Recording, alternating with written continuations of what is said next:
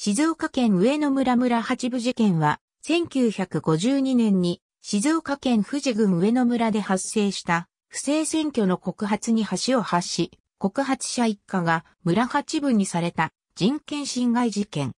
石川さつき上野村では、1952年以前から組織的な替え玉投票が公然と行われていた。隣組の組長が各家庭を訪問し、危険するなら代わりに行ってくると言って半ば強制的に入場券を回収したり、危険する人がいたら組長宅まで入場券を持ってくるようにと記した回覧板が回されるなどして危険防止という名目のもと入場券が集められた。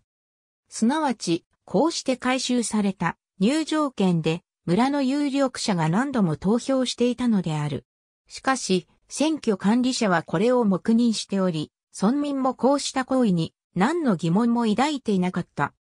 同村在住の中学生、石川さつきは、事件の2年前の1950年6月に行われた第2回参議院議員通常選挙の際にも同様の不正に気づいており、こうした風潮に憤りを感じていた。そこで、こうした不正選挙を問題提起するため、在校していた上野中学校の学内新聞、上野中学新聞に替え玉投票を告発する文章を掲載した。しかしこの時、学校側は全生徒から配布された新聞を回収すると、すべて焼却してしまった。事件の引き金となる1952年5月6日に行われた第2回参議院議員補欠選挙においても、同様の手口で不正選挙が行われたことに気がついた石川は不正を改めて告発する決意を固めた。当初は選挙管理委員に告発することも検討したが、選挙委員も不正選挙に加担しているのではないかと考え、これは断念した。また、不正選挙の中心人物は村役場そのものであると思われたため、村役場に告発することは選択肢に含まれなかった。さらに、当時石川は、警察と学生の間で頻発していた、様々な問題を見聞きしており、警察を信頼していなかったため、警察に訴え出ることは念頭になかった。そこで、石川は、朝日新聞に不正選挙を告発することとした。翌5月7日、石川は、隣組の組長が、危険防止のためと称して入場券を回収して回っていたので、真相を基支局で調べてほしいと記した手紙を朝日新聞社静岡支局宛に投函した。この時、差出人の住所氏名は手紙に明記された。朝日新聞の反応は素早く、5月8日には早くも記者が富士宮高校に現れ、石川を訪問した。その数日後には事件が記事となり、さらにその数日後には事件の関係者十数名が警察に出頭を命じられた。こうして問題は落着するかに見えたが、事件はこの後異なる問題へと発展してゆく。選挙が終わって、しばらく経った日、石川は路上で同村の女性に呼び止められた。そして、今日中何人もの人が警察に呼ばれた。まだ、皆帰ってきていないが、帰ってきたら皆してお礼に行くそうだと報復のお礼参りが計画されていることをほのめかされ、学生なのだから他人を罪に落として喜んだり、自分の住んでいる村の恥をかかせることが良いことか、悪いことかくらいわかるだろうと、あたかも不正選挙を告発することが悪であるかのように主張された。この頃から石川家に対する村八部が開始された。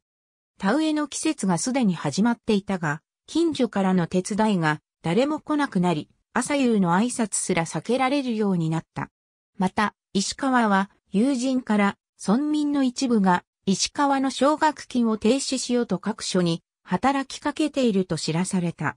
さらに、近所の小中学生が石川の妹に対して赤だ、スパイだとヤジを浴びせたり、地元の新聞が石川の父親の走行について書き立てた。法務局の調査に対して村民は村八部の正当化のために石川の父親が金を返さないと申し立てたが、父親の問題と選挙の問題は別であると考えていた石川は、父親の行為を正せない者が、村の問題をとやかく言うべきではないという村民の意見を聞き、ショックを受けた。結局、同年6月24日付の朝日新聞を皮切りに全国の新聞や雑誌がこの村八部問題を報道し始めたことにより、上野村は全国から注目を浴びることとなった。この日の朝日新聞の紙面では、石川の不正を見ても黙っているのが村を愛する道でしょうか、という言葉や、石川の恩師の高校教師の正しいことはあくまで押し通すべきだと教えながら、現実の社会悪に対しては全く無力ですという嘆きの声が報じられている。一方、村民の中には村八部をせず石川を支持する者もいた。例えば、富士宮高校の生徒会は全会一致で石川の支持を宣言した。また、教職員らも石川を支持し、7月上旬には静岡県教職員組合を呼び、同組合富士宮高校分会が石川を全面的に支持する声明文を発表した。しかし報道はさらに加熱していき、石川が日本共産党に入党したという噂が流れたり、左翼思想や危険思想の持ち主であるかのように報じられた。また、警察が自分や自分への訪問者の思想傾向などの身辺を調査していることを知った石川は、報道や警察への不信を募らせた。その後、石川は上京して、上野村をしばらく離れた時期もあったが、1952年の秋頃になると、ようやく村八部は緩和され始め、石川家を無視していた村民たちとの交流も回復し始めた。事件の翌年の1953年には、近代映画協会制作、現代プロダクション協力のもと、原爆の子の新藤兼人による脚本で、今泉前主の監督によりこの事件の顛末が映画化され、村八部として公開された。石川はこの事件の手記を表し、1953年に村八部の木、少女と真実を理論者より上司している。この手記は後に現代教養全集第11集、日本の女性に平塚来長らの著作と共に収録された。石川は後年、加瀬さつきとして婦人民主クラブに所属し、事務局長として活躍した。